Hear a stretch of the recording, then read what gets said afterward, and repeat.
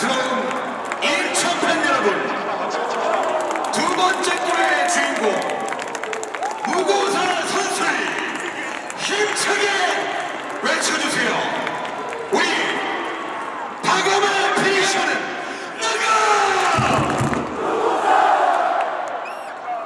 인천 두 번째 골의 주인공은